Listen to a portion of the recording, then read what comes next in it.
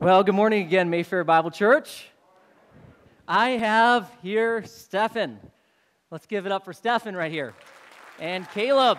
Let's hear it for Caleb. All right, so they're going to go into the push up position now with your knees up and halfway down, 90 degrees. A little farther down, Caleb. A little farther. There we go. All right. It's got to be marine approved. So, what we have here is pain induced in their bodies. They can start to feel it right now. No pain, no gain. Arnold Schwarzenegger said a long time ago, right? No pain, no gain. Or hasta la vista, right? And so, one of my seminary profs said, No spiritual growth occurs without pain or suffering. I'm like, oh, wait, wait, wait, you can't put your knee down yet. You keep, get, get, go back down, go back down. I heard that from Dr. Stanley Toussaint at Dallas Seminary, and I thought, what? I can't grow to be more like Jesus without pain or suffering. Okay, come on, somebody cheer on Caleb here. You got to at least go halfway down there, something like that. Stefan, I think we got a winner. I think we got a winner. Let's give him a hand. Thank you. Thank you, guys. Thank you. All right.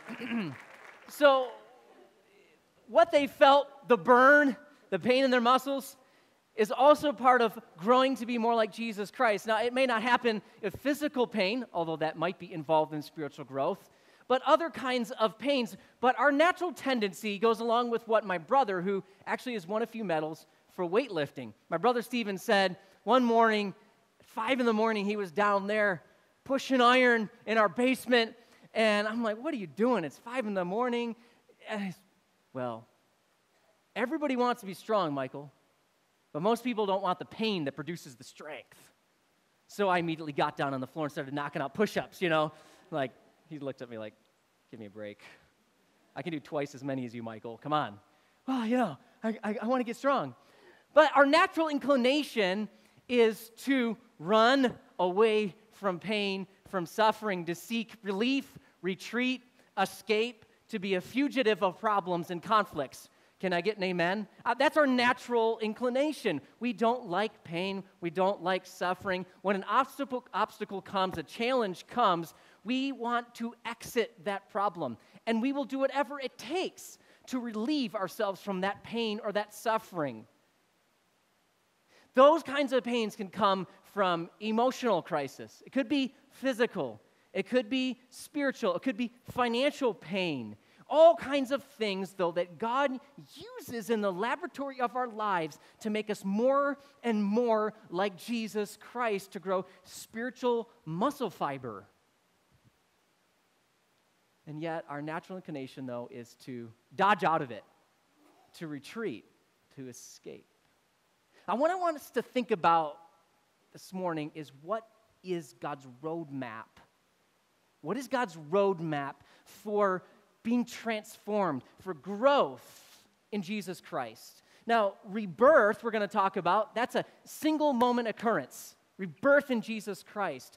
But what about thereafter, the metamorphosis process, transformation, change to become more like Jesus Christ? What is God's roadmap for that?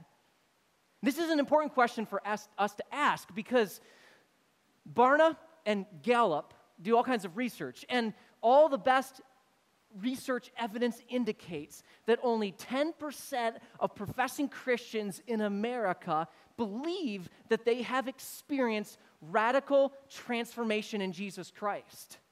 Whoa! Only 10%, that means 90% of people who believe in Jesus say, I profess that Jesus is my Savior. 90% of them do not believe they've experienced radical transformation in their walk with Jesus Christ. So, why is this? Why is this? I, I, want us to move into a story, okay? Because stories embed truth like nothing else. That's why the Old Testament is full of stories that have truth deeply embedded in them, truth that changes. And the New Testament, we see Jesus using parables and word pictures to communicate truth that transforms. The Apostle Paul was inspired by the Holy Spirit to use word pictures and analogies to communicate story, to communicate truth. And so I want you to enter with me into the story of an often breezed over character in the Bible. An often breezed over character in the Bible by the name of John Mark. John Mark. Now, John is his Hebrew name, Mark is his Greek name. He goes by either one. He has 10 passages in the New Testament that are just brief snapshots. We don't know a lot about John Mark. There is some extra biblical literature that mentions John Mark, John or Mark, or Mark, also known as John, or John Mark together. But these 10 short, brief snapshots in the New Testament give us a picture of someone's transformation process through pain and suffering. But John Mark has a tendency, like you and like me, to do what? Run to retreat, to escape. When the going gets tough, when the way gets difficult, when there's challenge, obstacles, suffering, pain involved, he wants to run off. He doesn't want to go through that pain. So I want to enter first into this section of John Mark. We're going to see three simple movements rebirth, maturity, and development. How the development takes place rebirth, maturity, development. The first passage is from Mark chapter 14, verses 49, 50, 51, 52, specifically verses 51, 52. I want you to see this passage with me. And so Jesus is saying here, and this is on the eve of his crucifixion, just before he would go to the cross for our salvation. It says, Every day, he says, I was with you in the temple teaching, and you did not seize me, but this has taken place to fulfill the scriptures. And they all left him and fled. Who's they? His disciples they all left him and fled. A young man was following him, wearing nothing but a linen sheet over his naked body, and they seized him, but he pulled free of the linen sheet and escaped naked. This is kind of embarrassing. Now, what is this? Now, there's some debate about whether this young man was John Mark or not, but most interpreters believe that this is John Mark. Now, this is in the Gospel of Mark chapter 14, 49 52. And Mark, we'll find out later, John Mark was the man to author the gospel according to Mark. He didn't actually label it kata Mark. He didn't label it according to Mark. He didn't label it that. It was all throughout church history, though, he was believed to be, and from the earliest point, everybody taught that he was the one who wrote the gospel. But Mark puts no reference to his name anywhere in the Gospel of Mark. He doesn't say, I'm the author of such and such, you know, he doesn't say anything like that. Never in the story is his name embedded at all either, okay? Never is Mark saying anything about himself. His whole point is to point people to Jesus Christ and that they believe on Jesus. This is the gospel, the good news of Jesus that Mark would write down. And just to give a little teaser, Mark spent time with Peter, and Peter was the one who gave eyewitness account to Mark, and Mark would write down, inspired by the Holy Spirit, of what happened. What did Jesus say? What did Jesus do?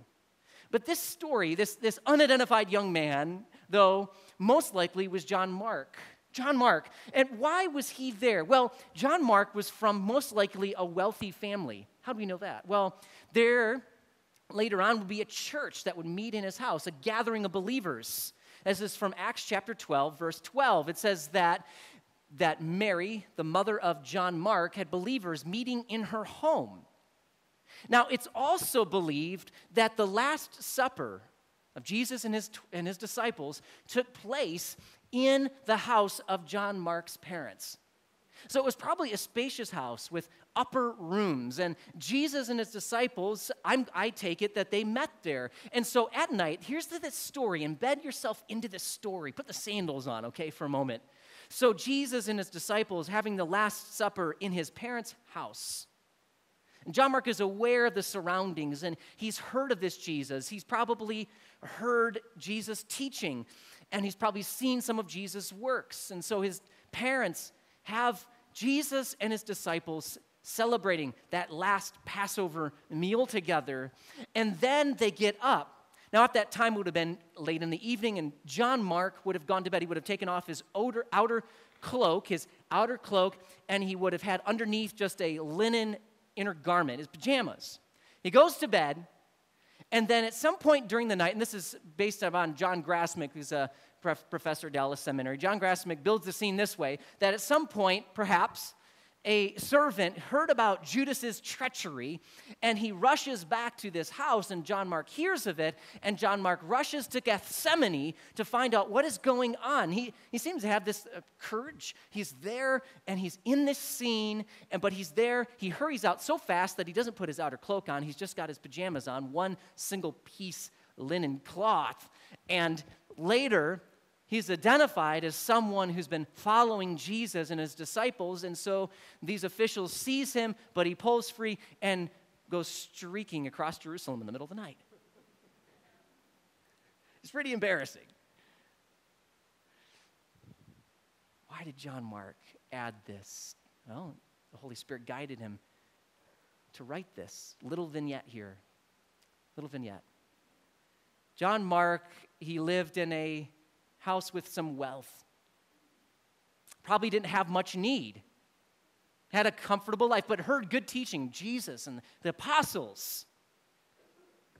So later on, after this scenario, we arrive at Acts chapter 12. Turn with me to Acts chapter 12. To the next, there's 10 passages, as I've said, that talk about John Mark. If we added this one, it'd be the 11th. John Mark, Acts chapter 12. Here's the passage I mentioned in verse 12. And when he'd realized this, he went to the house of Mary. This is where Peter, he's been delivered from prison by a miracle of God, an angelic messenger arrives, his chains fall off. He ends up at what house? At the house of John Mark's mother. He went to the house of Mary, the mother of John, who was also called John Mark, where many were gathered together and were praying. And when he knocked at the door of the gate, a servant girl named Rhoda came to answer. When she recognized Peter's voice, because of her joy, she did not open the gate, but ran in and announced that Peter was standing in front of the gate. She sees Peter and she doesn't let him in. She's so overcome that she runs back to the people in the house, and what is their reaction? You are out of your mind. So they were in there praying for Peter's release, by the way. What faith, you know? God answers their prayer and they say, The girls, you're out of your mind. But she kept insisting. I love how realistic the Word of God is about people's failings. It gives us hope, doesn't it? It's not sugar coated, not thousands of people running around with halos on their heads. They're normal people with faulty faith. And yet, believing. Because of her joy, she did not open the gate. Verse 15, they said to her, You are out of your mind, but she kept insisting that it was so. They kept saying, It is his angel. But Peter continued knocking. Is anybody going to let me in. I just got out of prison, you know. Opened the door and they saw him and were amazed. God answered their prayer. So then, so Peter and John Mark are in the same house. Later on, 1 Peter chapter 5, 1 Peter chapter 5. Turn with me there to 1 Peter chapter 5, verse 13. We find this out about John Mark. 1 Peter chapter 5, verse 13 says this She who is in Babylon, the speaking of the church in Rome, Peter's using code words for Rome here because the persecution is so hot at this time by the Emperor Nero that he wouldn't say Rome outright. And, and because it could intensify persecution. So he says, The church, she who is in Babylon, chosen together with you, sends you greetings, and so does my son, Mark. That's John Mark. Peter uses the phrase, my son Mark, to indicate that John Mark was the spiritual son of Peter. That Peter, through the providence of God, was led to lead, guided John Mark to faith in Jesus Christ. Rebirth in Christ. Happens, occurs in a single moment. That's point number one. Rebirth in Christ. We're talking about reborn, right? Reborn. Rebirth in Christ occurs in a single moment in time. It, our justification, whereby we are declared right in God's sight by God's gift of grace through faith in Jesus Christ. we put our full faith, our trust in Christ's death burial, and resurrection. What he did for our sin so that we could be redeemed, restored back into relationship with God. So when we put our faith in Jesus, God looks at you, God looks at me, and he says, I see the righteousness of Christ. We're clothed with the righteousness, made right, enabled to be in relationship with God by God's grace brought into his family. Now we belong to the family of God. We're part of one household. We're in this body of Christ together. And so John Mark enters into this family and everything changes. In 2 Corinthians chapter 5, verse 17, which we've talked about in this reborn series. Therefore, if anyone is in Christ, he is a new creation. The old has passed away. Behold, look, the new has come. This is what happens when we put our faith in Jesus. Rebirth in Christ occurs in a single moment, and the heavens are opened with joy. The saints rejoice. The angels rejoice in heaven over one sinner who comes to repentance, to turn from their sin and turn in faith to Jesus Christ and to that restored relationship with God. And so Peter is saying this is later on in John Mark's story, but we find out John Mark was with Peter in Rome. Hmm. Peter had led him to faith in Christ. Rebirth is a beautiful, beautiful, exciting thing, isn't it? I think of the moment that I saw this little flower bud, Everlyn, that's my daughter. That was just a day after she was born. Wide eyed, she looked into my eyes. I looked into her eyes, and it was just love at first sight. She still melts my heart, and she can still get just about everything she wants from me because she bats her eyelashes, and that's just not fair. But that's what Everlyn Sarah looked like when she was a newborn baby.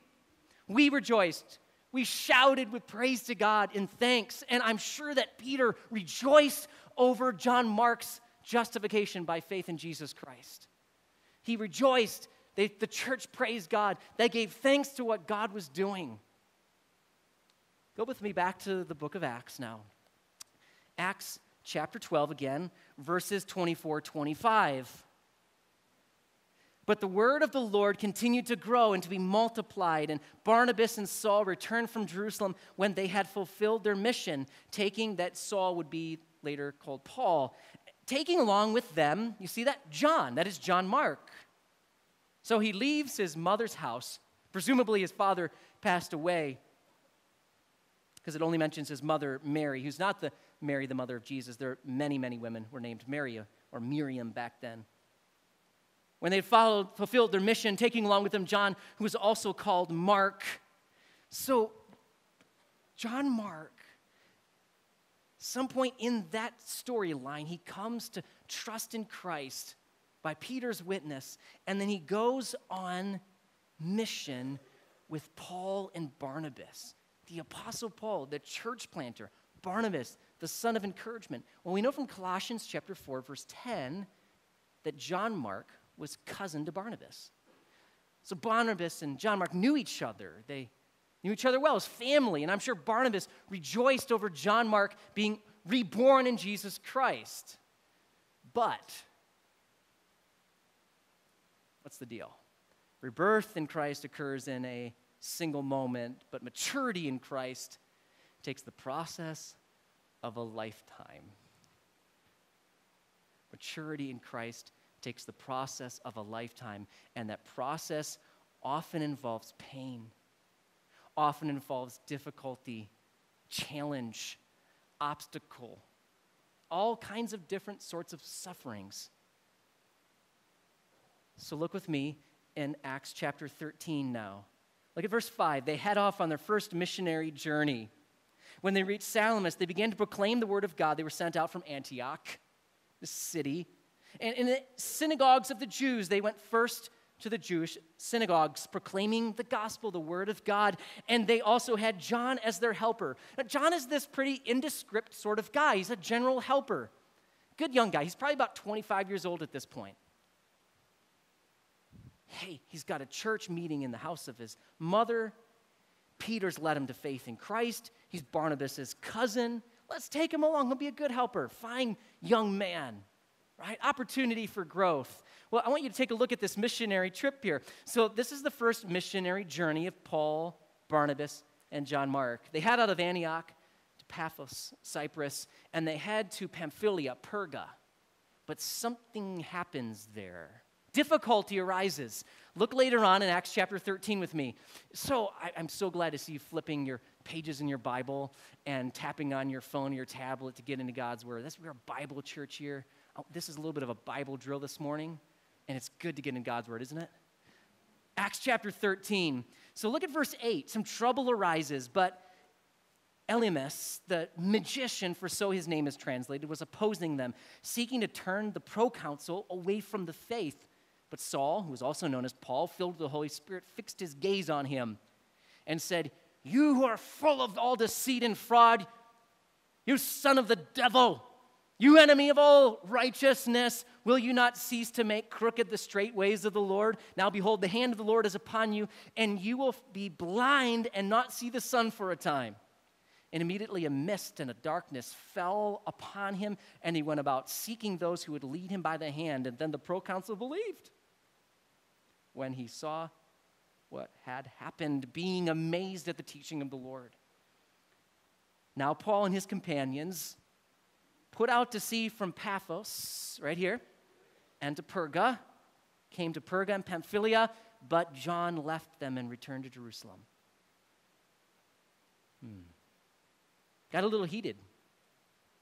environment grew hostile. It wasn't like going back to mama's house, where nice Christians were there challenge arose. How do I know that it was for challenges or pain or suffering that John Mark deserted?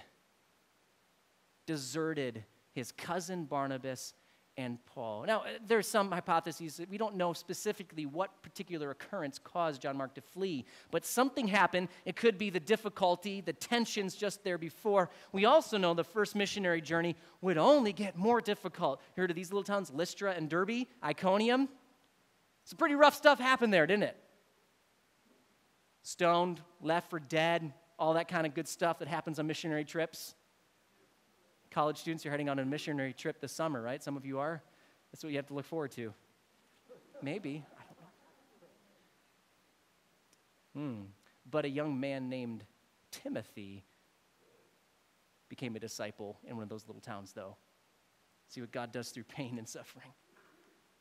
So turn with me now to Acts chapter 15. Here's the second step. So, maturity in Christ takes the process of a lifetime, and that process involves pain, it involves challenge, it involves difficulty. It's not necessarily easy. They're getting ready to head on their second missionary journey now, verse 36 through 41 of Acts chapter 15. After some days, Paul said to Barnabas, Let us return and visit the brethren in every city in which we proclaim the word of the Lord and see how they are. Barnabas wanted to take John, called Mark, along with them also. But Paul kept insisting that they should not take him along who had deserted him, deserted them in Pamphylia, and had not gone with them to the work. Oh, he, he, he left us. He abandoned us. We were on that journey. We were there to lead people to faith in Jesus Christ, to preach the gospel in the synagogues, to plant churches and he took off Barnabas. I know that you are an encourager, I know that he's your cousin, but there ain't no way he's going with us on this trip. Not going to do with that again. What happens? And there occurred such a sharp disagreement that they separated from one another. And Barnabas took Mark with him and sailed away to Cyprus. And Paul chose Silas and left being committed by the brethren to the grace of the Lord. And he was traveling through Syria and Cilicia, strengthening the churches. Rebirth in Christ occurs in a single moment. You put your faith, your trust into Jesus Christ, and you're reborn. You receive life from above. You're brought into union with God through Jesus Christ. You are in Christ, forever, kept secure. But maturity in Christ takes the process of a lifetime. John Mark and Barnabas disappear from the record for a number of years here. If you line up the years, John Mark and Barnabas spent about two years together. In that was intensive discipleship, it was mentoring. And then also in that time, we know that Peter went to Rome, to Babylon, and John Mark would join him there, as we saw in 1 Peter chapter 5, verse 13. So about 10 years go by, and in that period of time, John Mark is discipled, mentored by the team that God has put in his life Barnabas and Peter. And 10 years go by. Now, I love my little kids. I love Everlyn so much. I love Hudson so much. I love Carson so much. And I am so excited to not be changing Everlyn's diaper anymore. I'm so excited to not be changing Hudson's diaper anymore, right? You see, rebirth or birth is exciting. Birth is exciting. It's wonderful. But it'd be kind of awkward if I had to brush Everlyn's teeth on her wedding day. It'd be pretty awkward if I had to change Hudson's clothes or, or, or make his bed when he's getting ready to have his first job interview.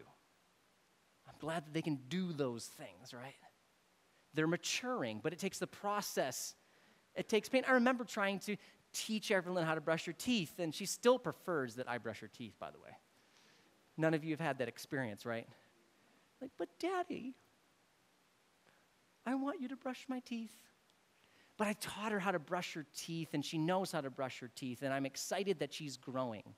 excited that she's growing. This past week, I was doing the dishes, and everybody else was asleep in our house. And in our foyer, I noticed these three little shoes.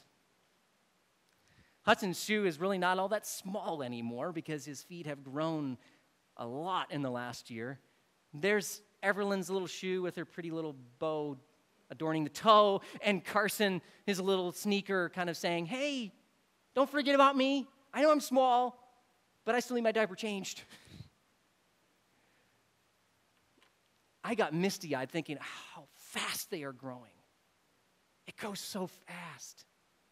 It seems like just a few months ago that Everlyn was a newborn in my arms, that Hudson was a toddler, Carson, newborn baby. But they're growing, and, and this little array in our foyer was shouting out a message Hey, we're growing, Papa. Things are changing. Pretty soon, Hudson's going to be in puberty. And they're going to be asking for the truck keys. That's why I keep an old truck that's 25 years old, by the way. And they'll be off to college. They'll be getting married, Lord willing, and then they'll have little shoes by their foyer someday, by God's grace.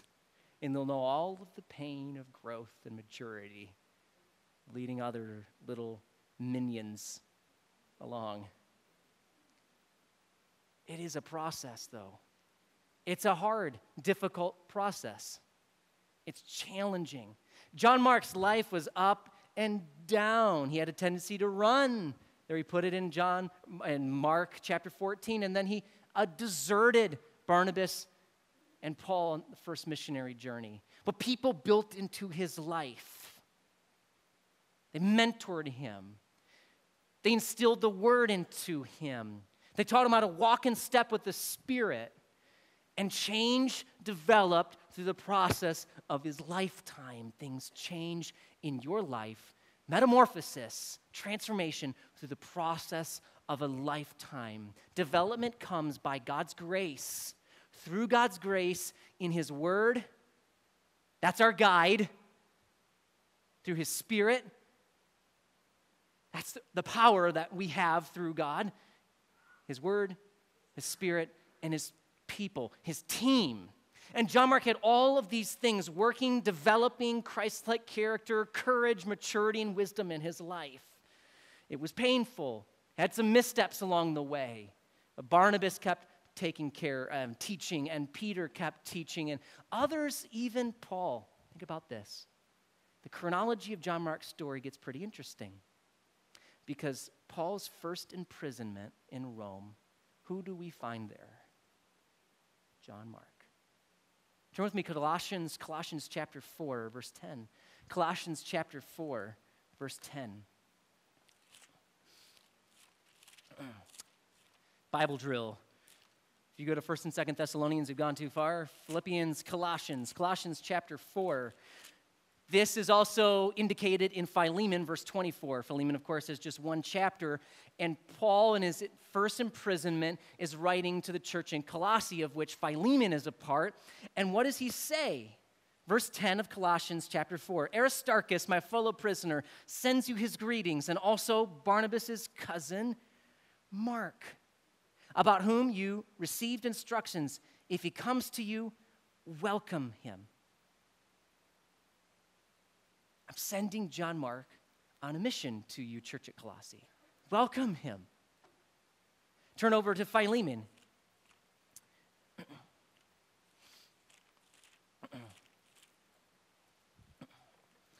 one you can find here Galatians, Ephesians, Philippians, Colossians, 1st and 2nd Thessalonians, 1st and 2nd Timothy, Titus, and Philemon. It was good to memorize those in song form when I was a child.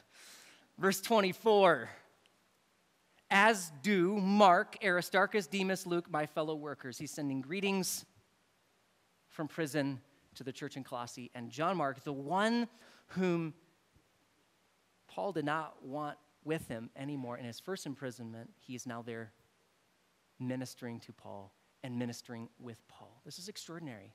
After 10 years of development, maturity, the process. Now he's continuing to grow. And the one who formerly didn't want have anything to do with him ends up there together and they're ministering together. Isn't this extraordinary? It's by God's grace.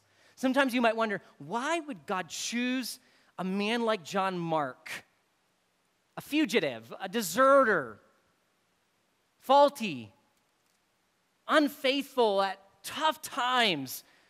Well, the answer is those are the only kind of people there are. We're all prone to deserting, to turning our back, backing away, looking for escape, looking for retreat. And God's grace keeps pursuing us, keeps loving us. And through His Word and His Spirit and His people, He's doing His developing work of transformation in our lives. Don't lose hope. John Marcus all the kind of people there are, you're just like it, so am I. So am I. Many years ago now, let's see, that was about 13 years ago. Stephanie and I, no, it wasn't that long ago. Nine years ago, 10 years ago, we bought our first house in Trenton, Michigan. I was a youth pastor down in Metro Detroit. And this house was built in 1870. 1870. So do the math. That was just, you know, five years before that, Abraham Lincoln was president. This was an old, old house. And this house needed just about everything. Now, it was a pretty nice little house, though. Look at that. There's Hudson. He's about Carson's age there, maybe about two years old. And I'm thinking Everlyn was a newborn infant, or Stephanie was pregnant with Everlyn. Stephanie's going to be embarrassed because I don't remember the details. the house was beautiful, it had character, as old houses do. And the neighborhood had lots of character. The neighborhood was filled with old homes that had been restored, but this one hadn't been really restored. It had been semi restored 40 years before we bought it, but it hadn't been fully restored ever. And it still had things from 1870. And so we purchased this house in that picture. It's our picture of a redemption, right? We are purchased with the blood of Jesus Christ, purchased God's very own possession, that God the Father purchased us with the blood of his son Jesus Christ and then gives the church as a gift to his son Jesus Christ. We're part of that. We're bought with a price. We're not our own. We uh, belong to Jesus Christ. So we purchased this house it belonged to us. And then we needed to figure out what we were going to do to restore this house. And to restore this house involved a huge team of people. We could not do this alone. So my friend Jim was really good with drywall and replastering or tearing off old plaster that was falling off the wood lath and pulling out horsehair insulation and all kinds of things. And so he helped with a lot of mudding over old plaster or ripping that off and putting on new drywall. And, and Jim helped with other things, straightening doorways. And then my friend Dave, Dave helped day upon day upon day with electrical work. He was really good at that. He helped with plumbing things. And then Chris helped with our ancient hot water boiler heating system. We had those giant cast iron grates around our house, and they were leaking, and then the boiler wasn't working. And he was always helping us on that sort of thing. And then my friend Dennis and a friend of his came and helped me tile the bathrooms and gut mold out of walls and all kinds of things.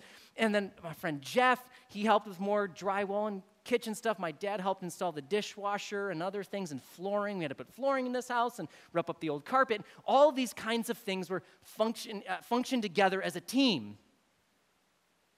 So it is with John Mark's life. We need team to develop into the likeness of Jesus Christ. We can't go it alone.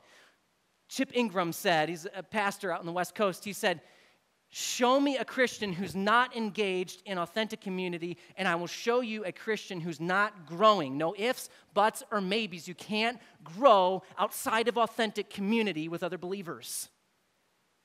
Most of the calls to growth and to sanctification, the process of becoming more like Christ in the New Testament, most of those are phrased in second person plural. You all be sanctified. You all grow together, not just you individually. So the Christian life is not about me, the Bible, alone by myself. It's about all of us together, serving together, loving one another, using the Spirit given gifts and the Word to work as a team so that together we become more like the Christ who saved us and redeemed us and who is in the process of restoring us through those means of grace. Development comes through God's grace in His Word, His Spirit, and His people, at the team. The guide is His Word, the power comes from His Spirit, and the team is the people of God together. That's what's so beautiful about the local ecclesia, the local church. And we needed everybody to help us because I was never going to finish all that restoration work on our house alone. And about two days before we closed on the house, it was all done. You catch that? Yeah, we, we had to sell the house. Before. We never got to live in it fully restored. And we probably left some things to the future homeowners. But you and I need community. It's said that a butterfly transforms in a cocoon, but a Christian is transformed in community. John Mark's life showed all kinds of evidence of people building into him, loving him, taking care of him, discipling him, picking him up when he fell down, when he ran off. They kept encouraging him. Turn with me to 2 Timothy chapter 4 verse 11. Here's the last snapshot we'll look at here. 2 Timothy chapter 4 verse 11 says this.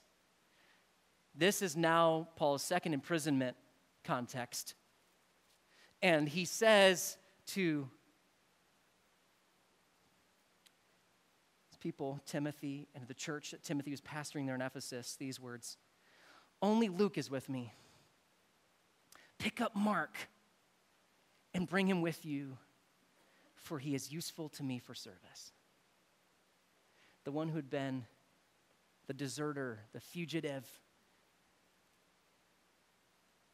has matured and is still continuing to mature. And he's using his spirit given gifts.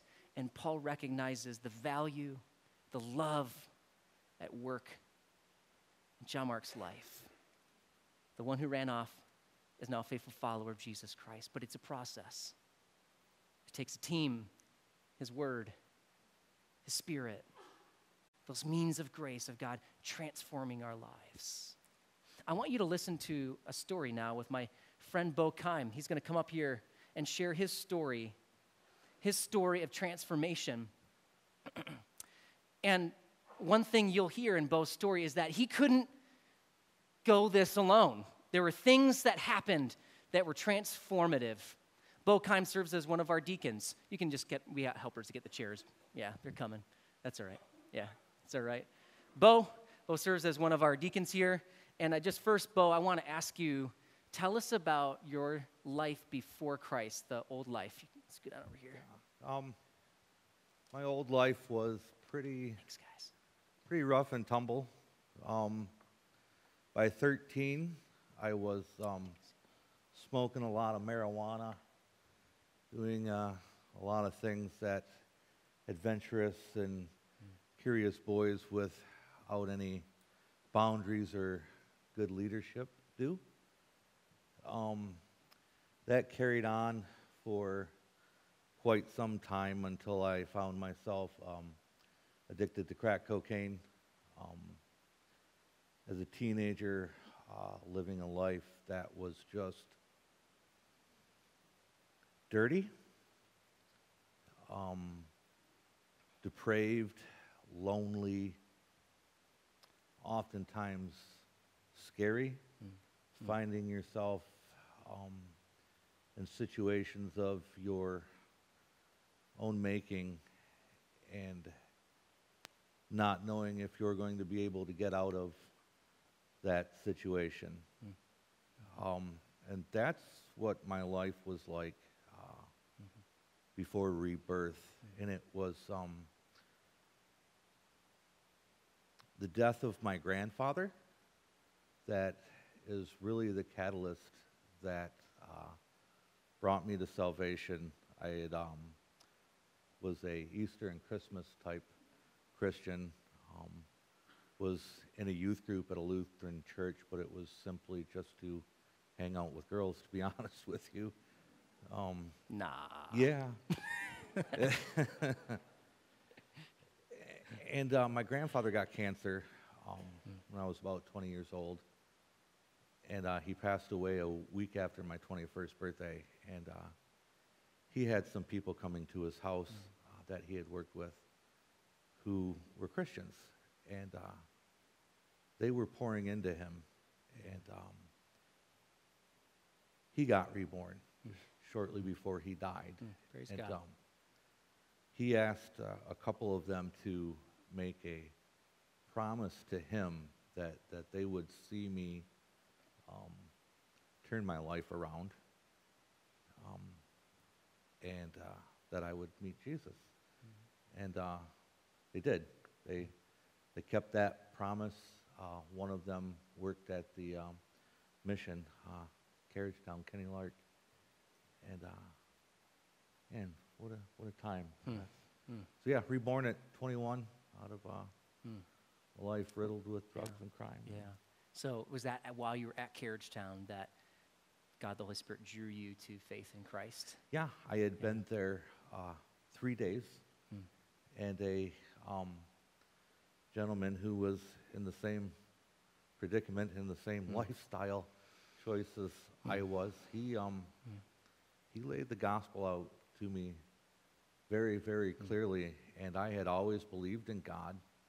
Um, I, I believed I was going to heaven because I had been baptized um, when I was when I was a little kid, Hmm. and it was very clear to me when he shared what Christ had done for us and what that really meant, and there was no hesitation whatsoever at that moment. And um, Yeah. it, it's funny that you use the 10%, 90% thing because at, at that moment, I, I had honestly, I had felt a, um, a change. Um, but I, I I don't think it was a change that was as profound um, as some changes that happened later. Yeah. Tell us Um, about that, the, the maturity process of which you and I are not complete with yet. Right. yeah. Um, yeah. So, so those of you that know me well know that um, I'm pretty capricious. Uh, I have a tendency to um, be immature. Ask my wife; she'll tell you. Um, I'm a I'm a good time Charlie by nature, and um, I kind of thought that this salvation thing was going to be, you know, all roses. You you make that change, and and God's going to make your life so much easier. And um, what I found was the pain got harder and harder and harder, and the circumstances seemed to get more dire um, as time progressed. I'm the type of person who, if I can't do it, eh, what's the point of even doing it, right? So, you know, why rely on on God? And uh, I found myself um, at an aneurysm in the aortic root of my heart, mm. and um, that was a scary time. And uh, for a long time, I kind of just Uh, my wife tells me a, a, a lot that, you know, I'm, I'm like an ostrich and I just kind of bury my head in, in the sand. And that's, that's kind of true. Um, in a lot of ways, that's, that's true. I, I go inward um, instead of seeking out that community that God had made for us. And, and that's what happened um, at that time. And uh, yeah, fast forward eight, eight years, they say, oh, okay, it's time you, you need to have this taken care of, you know, right now. And uh, it was at that moment that I, I realized, you know, I, I'd been reborn, and on the outside, I, I looked pretty good, but the inside of me was still trying to do things myself. And I found myself, um, much like the drugs, I, I couldn't get off of drugs on my own. Um, As hard as I tried to ignore my problems with the aneurysm away, I, I, I could not do that Yeah, yeah. either. Yep, yep. And um, God was developing reliance on Him through Yeah. this. Yeah. Absolutely. And, um, you know, coming out on the other side of it, um, I'm grateful for the pain Mm, mm, because that's where the real lesson is. And, and, and I'm glad that, that you talk um, about community like that because we can't, we can't do that on their own. The list of people who have um, mentored me right as first being saved, um, all, all the time along. I, I, I mean, without guys like uh, uh, Pastor Dale in my life, um, Mike Thomas, I, I don't know that I would have the willingness or even the nerve to have gone forward. And um, Yeah. so just don't discount Mm. the pain that makes us grow because Mm. it, it'll get you get you closer with God. mm. Thank you so much for sharing, Bo. Your story reminds me of this quote. You can hang up here with me. From John Newton, former slave trader, he wrote the song Amazing Grace. He said, I am not what I ought to be. We can all say that. I am not what I want to be. I'm not what I hope to be in another world that is in the glory to come, but still I am not what I once used to be. And by the grace of God, I am what I am. By God's grace. Would you close your eyes and bow your heads with me?